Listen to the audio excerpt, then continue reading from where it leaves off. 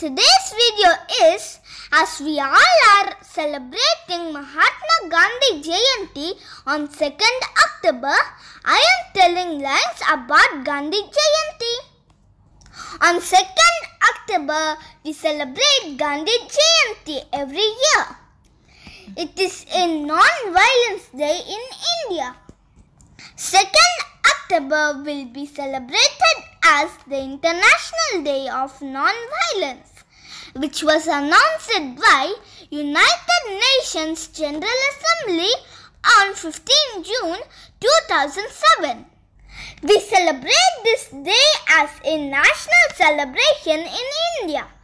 People all over the world pay tribute to the contributions of Mahatma Gandhi on that day and praise his teachings. Residents of India decorate statues of Gandhi with flowers.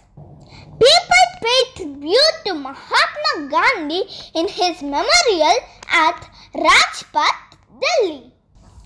Raghupati Raghava Rajaram, which is the favorite bhajan of Gandhi, makes us feel his divine power.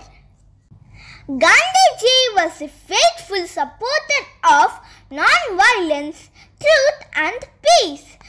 So no meat and no liquor shops remain closed on that day.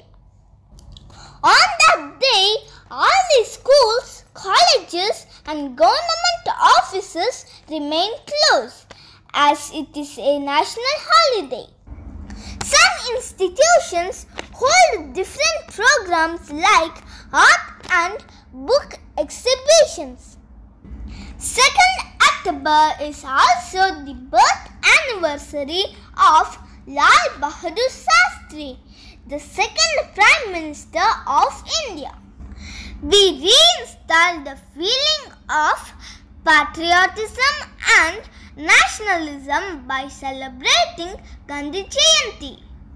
These are the few lines about Gandhi Jayanti.